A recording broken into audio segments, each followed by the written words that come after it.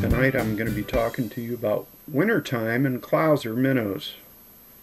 Now I'm not actually going to tie a fly this evening because I think you can find some really good videos of how to tie a clouser minnow on one of the other YouTube channels. Um, that's not what the focus is going to be. What we do need to discuss is all the big, large uh, clouser minnows that you typically use in the summer. Um, you tend to downsize in the winter. Now, right now the bonita are out there, the mackerel are out there, uh, the snook have moved in off the beaches and are staging to move into the back. You know, redfish are still around, etc., uh, etc. Et but you tend to downsize the baits because the bigger bait has left. Uh, you want to stick with something that's a little bit smaller. So, in that vein, um, right here we have a purple and black clouser. This is on a number 4 Dairiki hook. Um, this one is a good profile fly. You know, I always say, think about the tarpon time. In the in the mornings, real early, and in the latter part of the day, or if the day is very overcast, sometimes a dark profile style fly is the best thing. Now, this could be black and orange, uh, all purple. Uh, it could be uh, black and brown, or brown and orange. You know, just a little bit darker color for the profile for early in the mornings, late in the afternoons, and again on those uh, over heavily overcast days. Now we're going to talk about the beach fly. This is a another clouser. This one is tied with uh, the angel hair material in a pearl green on top and a silver holographic on the bottom. The bonita key in on, on the smaller bait offshore. Um, and a number four clouser again is a very good idea. By the way, um, I tend to do uh, black and white eyes on on these rather than the reds that I usually run on uh, the typical summertime patterns. I like the natural uh, black and white. This is just a pretty simple fly. You can get hanks of uh, angel hair, you know, really inexpensively, and you know, a little bit goes quite a long ways. Again, this is a good uh, for the bonita, a little offshore. On the um, same vein, we've got the uh, olive and white. I've always been very fond of an olive and white fly uh, as a natural presentation. Now this is again out of angel hair, but uh, again for bonita. For the nearer shore, right now the winter you find that a lot of uh, mackerel show up. Now mackerel are just really good at destroying small clousers. So rather than tie the clouser on a short shank hook and tie it all the way up to the eye, think about tying it way back. That little bit of extra wire will make a big difference on whether or not you get cut off by the mackerel. Um, again, this one is tied out of that Kanekalon, the wig hair that I use. Um, and the flash in this one, again, is the angel hair instead of a typical flashabou or crystal flash. Um, really like this uh, tied back like this. And this uh, Kanekalon is very reminiscent of super hair. It's pretty tough. It's not quite as coarse. it doesn't have that little fine kink in it. Uh, this is a nice slick, you know, smooth hair. This uh, Kanekalon can be found in any ethnic beauty supply at very inexpensive prices. You can get huge hanks of this stuff for around four bucks or less. Um, if you go online, I, I think you can find this stuff for about $2.49 a hank, and a hank will tie many hundreds of clousers. Uh, olive color is a little bit more difficult to find, but there is a whole, I think there was one uh, site I found online for the Kanekalon that had like 96 different colors. So color choice isn't a problem.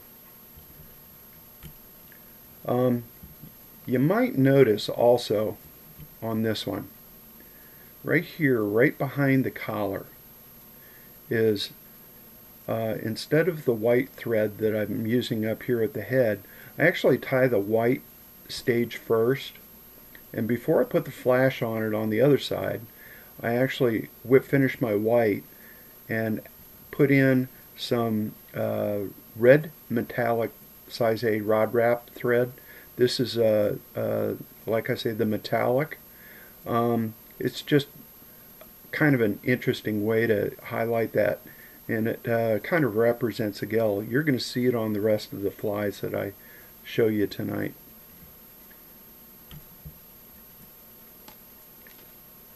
Now again, chartreuse and white.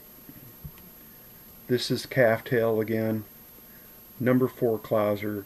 This is probably the gold standard um, of clousers for uh, just wintertime trout fishing, etc. inshore. Um, this will also work on the uh, offshore. You can also tie the the the white and uh, olive in the calf tail for the offshore for the uh, little tuna or bonita. Um, again, see that red rod, red rod wrap thread. Um, I also use on these, they, they oftentimes, I've seen these referred to as redneck uh, minnows rather than clouser minnows because of that red collar.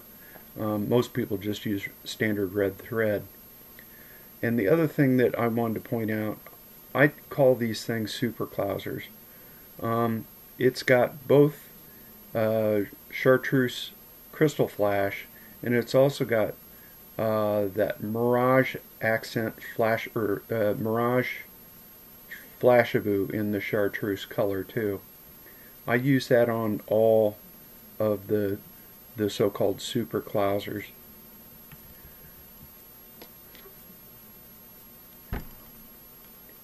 Again, you can't go wrong. This is an all-white Clouser minnow tied out of calf tail.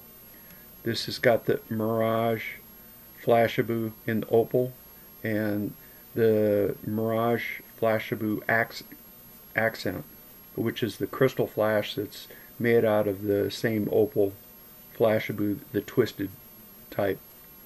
Doesn't take much.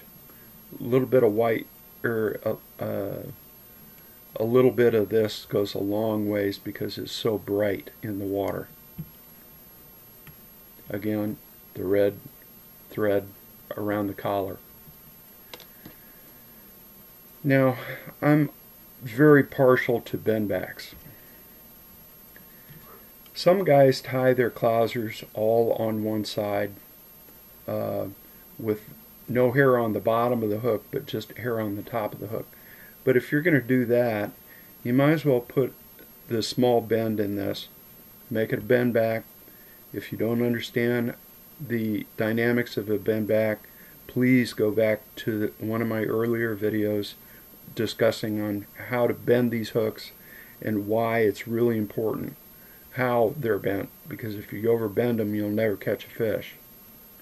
So here again, all white clouser, same material, same flash, the red eyes, the red thread in the on the collar, and in a bend back. Uh, here's the same thing again. This is a chartreuse in white in the bend back the red thread on the collar, the same chartreuse mirage accent, and the same crystal flash chartreuse. Now, the last one that I want to discuss with you is one that I sell on my website called the Tampa Bay Clouser.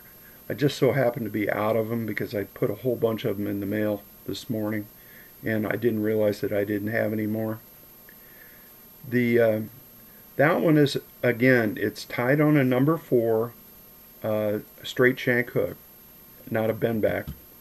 Uh, instead of using the 532nd lead, I use 532nd gold brass, uh, the brass eyes, and olive calftail or brown. It can be either one, but it's usually olive as the underwing, uh, gold holographic or uh, gold crystal flash in the middle, and then the wing on top, this is what makes it a little different, is peacock herl. Now, don't be afraid to pack on a, a bunch of peacock herl on the front or on the top of this because you're bound to lose a little bit of it. Uh, you know, the uh, the peacock just isn't as tough as the hair. You know, it's just you've got to accept that. But tied small again, this size, with the uh, with the uh, peacock herl and the uh, the olive uh, calftail makes a great wintertime redfish fly for uh, fishing some of the drop-offs and uh, even fishing up on the flats. It's it's small enough that it doesn't make much of a uh, uh, impact on the you know landing on the water. Anyway, just going over again, smaller clousers tend to work better uh, during the winter. Uh, some of the snook flies that we use, uh, the high tides that we use, you know, coming into January, late December, January, February, you know, the bait is just almost microscopic. So we'll actually step down to almost uh, to a size 8 or a size 6 hook. You know, you want to get smaller in the winter. Anyway, just a few tips on wintertime fishing and um, talking about clouser minnows. Thanks so much.